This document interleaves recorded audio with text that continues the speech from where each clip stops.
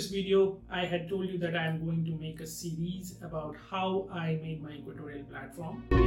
Today's video is about what are the initial data collection you need to do before you start designing your equatorial platform.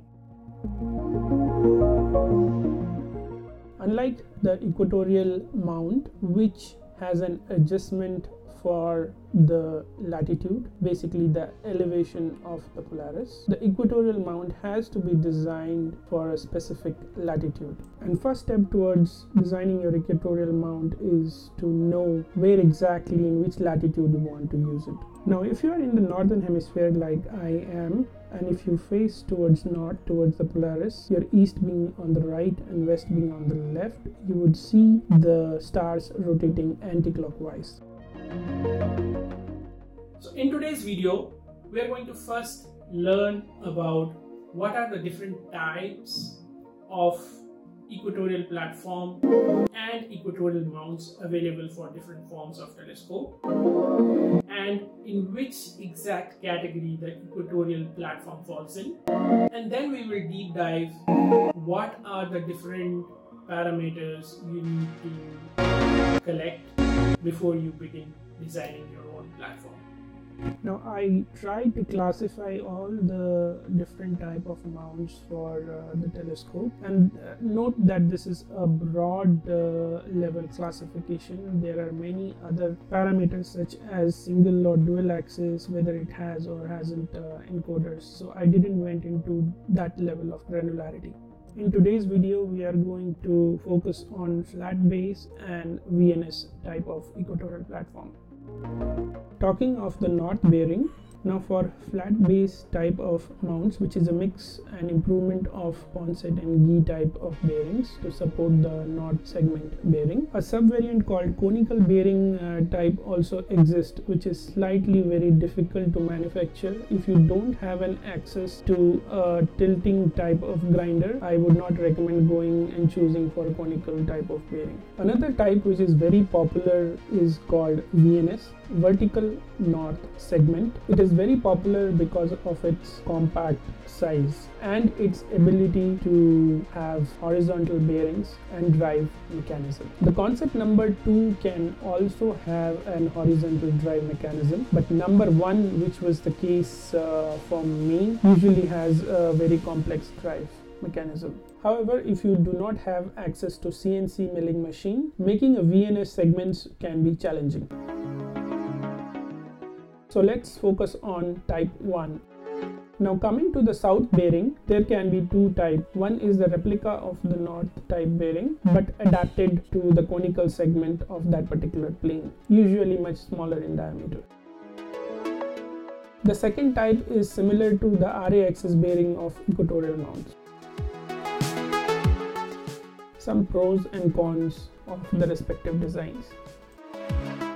Now this is the configuration I went for that I had chosen mainly based on the type of manufacturing processes available near me at that time. A recap of the questions you need to ask yourself. Please go through them.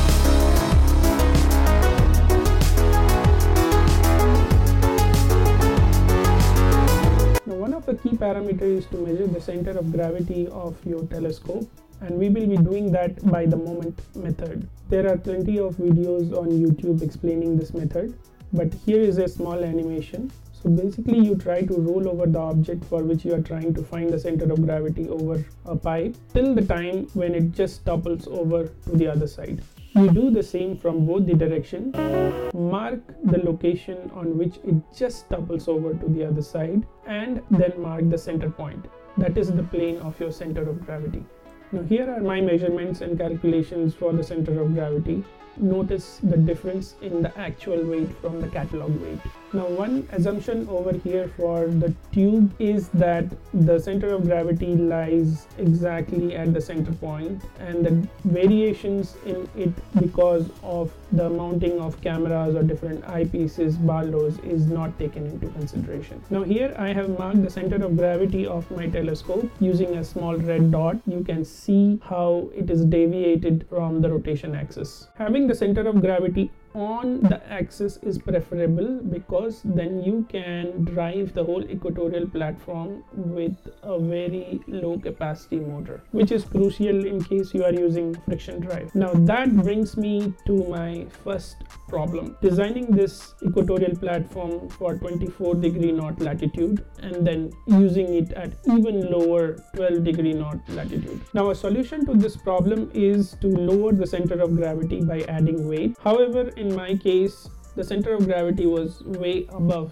and I had to use almost around a magnitude of 30 to 35 kgs of dead weight to lower the center of gravity at 12 degree axis which is absolutely insane. And this is why I suggest that you do not design your equatorial platform for usage more than plus minus 5 mm-hmm. degree latitude. Another reason for restricting your latitude of usage is with the increase in the delta of latitude you are actually increasing the risk of your telescope toppling over at the extremities of the usage and that is well evident using the pictures of my usage at 12 degree north. Now due to this issue this uh, equatorial platform is not very user friendly at my present latitude and that's why i'm planning to make another one specific to 12.9 degree north. So that's it uh, for this video. Um, i hope uh, you would start by collecting this data.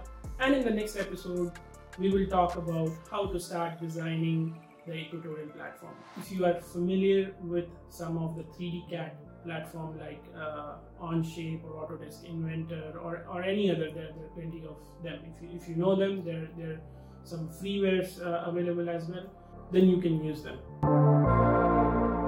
Please hit that subscribe button if you're not a subscriber to my channel and if you are interested to follow the series, the upcoming episodes like, share, comment. See you later. Bye.